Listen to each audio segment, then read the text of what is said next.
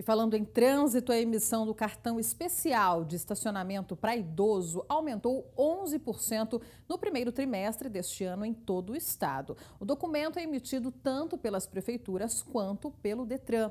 Mas quem tem o documento diz enfrentar aí dificuldades na hora de parar em alguns locais. Já faz cinco anos que José Carlos tem o cartão de estacionamento exclusivo do idoso. O aposentado tirou o documento assim que completou 60 anos. De lá para cá, o uso tem sido diário.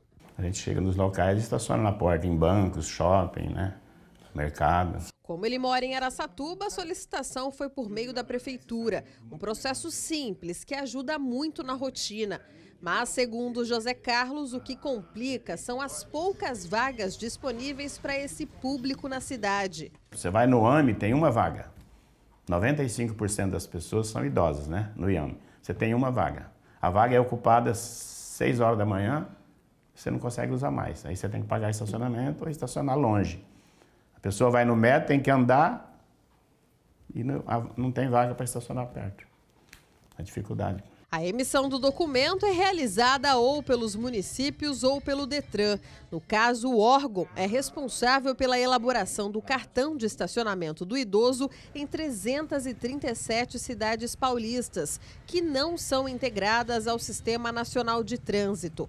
Apenas na região de Araçatuba são mais de 50 municípios atendidos pelo Detran São Paulo. Esse cartão ele pode ser solicitado nos canais digitais aqui do órgão é, especialmente aí no portal do Detran, onde o cidadão, após se logar de forma muito intuitiva, né, ele entra no serviço, ele valida ali algumas informações e o cartão já é disponibilizado na hora.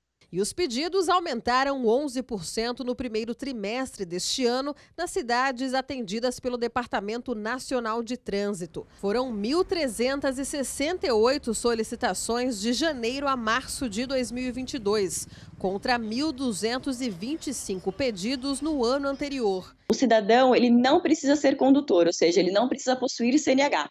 Né, basta que ele tenha completado 60 anos na data da solicitação. Né? Então, tanto o condutor quanto o passageiro podem fazer uso ali da vaga reservada ao idoso, né? Lembrando sempre que é, o cartão é, tem que ter sido solicitado, a pessoa tem que estar com o cartão no momento que ela estacionar o veículo, e além disso, o cartão tem que estar é, colocado ali no para-brisa do, do, do, veículo, né? O cidadão ele deve conseguir visualizar, é, o agente fiscalizador deve conseguir visualizar o cartão de fiscalização, né? o cartão ali do idoso.